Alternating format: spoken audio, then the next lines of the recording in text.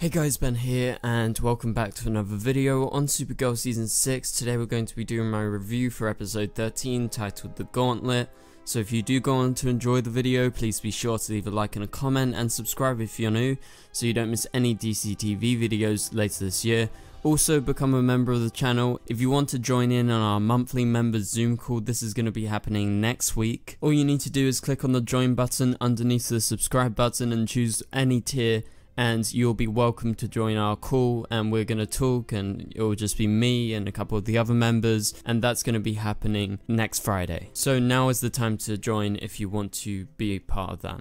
Okay, so without further ado, let's go ahead and get into my review for this episode. So, I really enjoyed this episode. I thought this was really good. It was definitely one of the better episodes of the season. Fully into the story and all about the gauntlets and you know, there's amazing bits in this episode like flashbacks and recreations of past scenes that I absolutely loved. And so we'll get into all of that as we go through this review. But first off, Lena returns to National City. She doesn't want to talk about her magical powers and her mum and what she found out back in her hometown. So she asks Supergirl just to give her some time before she explains everything that happened. And we do get that explanation at the end of the episode. But then at this point, you have Supergirl and Lena, and they both go off to the fortress and they talk to the Kryptonian witch who shows up multiple times throughout this episode and talks about the totems, basically introducing the core idea of it and like the way that they're used and the power that they hold. And so apparently they are in the form of artifacts and these artifacts can be anything around the world that symbolizes a certain feeling or emotion that they are all about. And so basically the witch warns of the challenges ahead and at times she's a little bit cringy, like the way that she's kind of looking into nowhere and then she's doing like funny kind of actions and moves and like funny pieces of lines. But like I think she gets better throughout the episode as we kind of get used to how she is, but at first it comes across as a little bit fast, like a little bit fake. But as I said, I think it gets better. Let's move on to the next thing. So the Courage Totem is in the form of an ancient slingshot this is a very famous slingshot, a very famous artifact from the past, and so obviously you have Nyxly who is going after it. Team Supergirl don't know about the slingshot at this point, but they soon find out as Nyxly goes to the museum with the help of Mitch, who does some reconnaissance at the museum, which also introduces the scientist who's trying to control lightning and thunderstorms essentially by harnessing them, but her funding was taken away and basically the courage of the totem gives her the courage to take back her plans, beat up her boss, and enact what she was planning to do without any actual experiments and tests. So it's very risky, and she realizes this by the end of the episode. But then we have Alex, who helps Supergirl, and Kelly is going to help Joey throughout this episode. That's why she's not there for a bunch of it, but she does return at the end. And so, in regards to Nyxly, she fails to get rid of Team Supergirl as the slingshot totem splits in two, and so the scientist gets hit, Nyxly gets away, and everyone else in the museum unknowingly was affected by the totems and was given a boost of courage and it affects everyone differently due to who they are, their powers and where they're from. And so we have all the different kind of symptoms playing off. Like you have J'onn who is ultra courageous and is like commending everyone. Like he has the courage to be open and express his thoughts to people, which I thought was very funny throughout this episode. Also, Alex being super courageous and doing anything for everyone else and not thinking about herself. But obviously, in the case of the scientist, it's a different thing where she's needs the courage to use her experiment and go ahead with it and take it away from her boss. So that ends up not in a good way.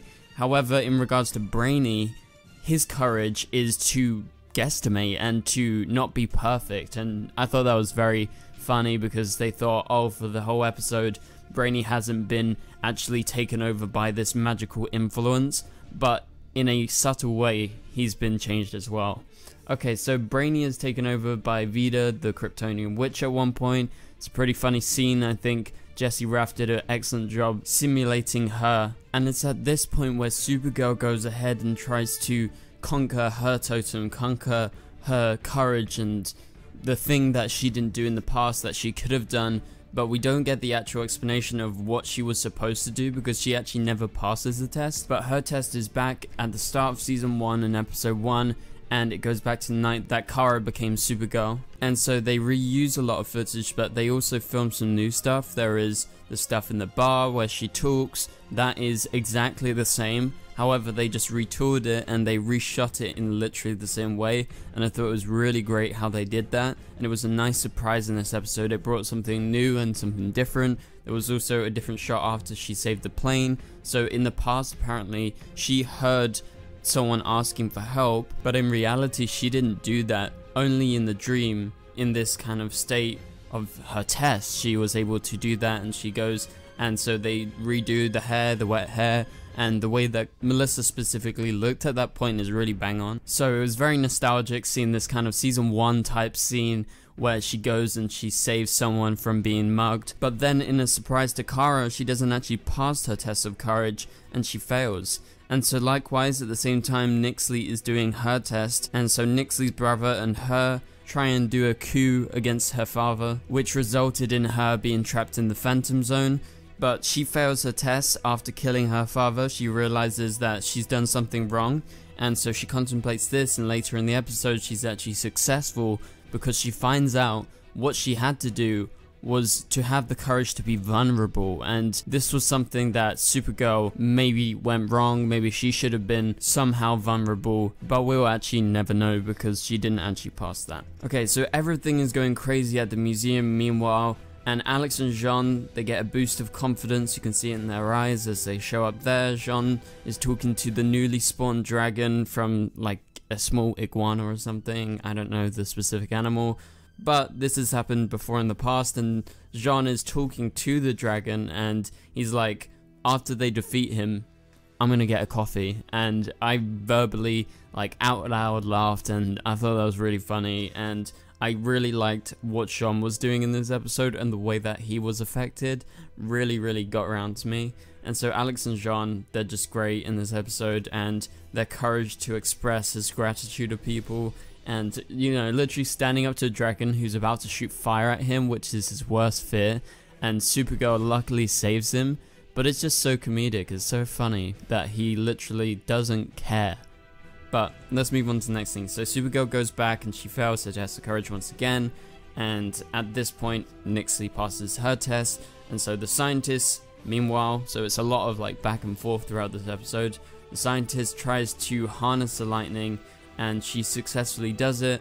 And just back at the tower, we have Lena, who is told that she must harness it and accept her magic in order to defeat Nyxly, which would bypass their need to conquer their fears and conquer these emotions every single time in a battle against Nyxly. And so Lena is going to be a big deal in taking down Nyxly. That is made evidently clear in this episode. And so Supergirl contains the second shard of the totem, but they end up releasing it in order to restore everyone because everyone is going crazy and it's heavily affected everyone in the museum. And so, like, for instance, William is affected in a way that he was courageous enough to go to this event because of this extra boost of magical courageousness. And this obviously brought up old emotions and old flashbacks to the night that he was actually shot by Eve, and this is something that he's kept deep down within inside of himself. And I like how they brought this up because this is something that a lot of us have forgotten about, and I think the writers even forgot about it, so it's nice to see them actually going back to it because it actually adds some proper depth to William as he isn't like a main character, he is a definite side character, and so it's nice to see him getting some attention. And so during this big scene where the lightning's going crazy outside and National City is going into absolute chaos, Guardian shows up to help and, you know, she uses her shield to block off some of the lightning and Alex does that with her sort of device. And Supergirl, J'onn, and Brainy, they circle the storm and they're able to stop it, but it's at this point that Supergirl drops from the sky and she gets flashes of Nyxly's emotions. And now this really reminded me of Harry Potter and Voldemort and their connection with the Horcruxes. And I think that is definitely their reference here, connecting them emotionally. It's going to allow Supergirl to feel what Nixie's feeling and kind of interpret what she's going to do next. And that's pretty much what Harry was able to do with Voldemort. He was able to kind of figure out where he was and, in a way, tap into his emotions, and that's definitely what Supergirl is going to be doing to Nyxly. And so, one of the final scenes of the episode is Kara and Lena as they talk on Kara's couch. It's great to see them like in normal clothes, just being comfortable. These are the classic scenes that we love in Supergirl. Obviously, you've had some with Kara and Alex recently, but they haven't been kind of happy scenes. They've been scenes talking about their deep emotions and the way that the Phantom Zone affected Kara, so it's nice to see them actually talking kind of normally.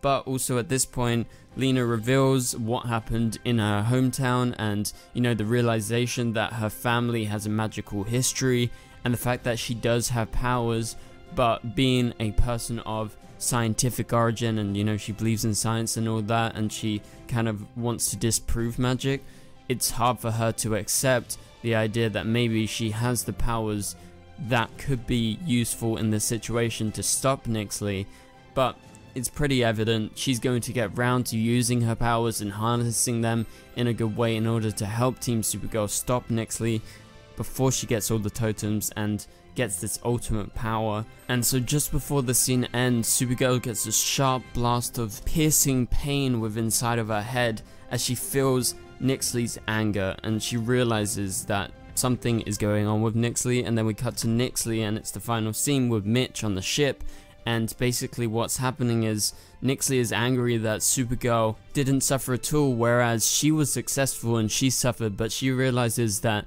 maybe that is the price to pay for this ultimate power you do suffer, but you're going to get that power. So it's obviously like a balancing game. How far are you willing to go in order to gain ultimate power? Whereas it's going to be affecting you in a different way. Whereas the people that fail to harness that power are more happy. And that is definitely going to be a big thing going forward as Nixie gets more and more angry and more and more absorbed with the totems and she's going to be more and more jealous of Supergirl and the way that she isn't affected by it, but at the same time, she doesn't really care, and that's made evident at the end of the episode where she's basically like, okay, I'm gonna accept this pain so that I get this ultimate power. So that's about it for this episode guys. Thank you guys so much for watching. Hopefully you enjoyed my review. This episode was really good. I really enjoyed it. It was definitely one of the most entertaining episodes this season and I think the story is actually going somewhere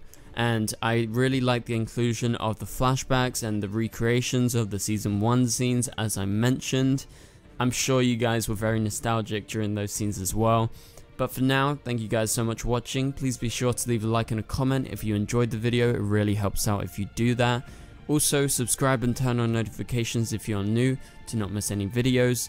You can click on the top right corner of the screen to watch my latest video. But for now, I'll catch you guys later. Goodbye.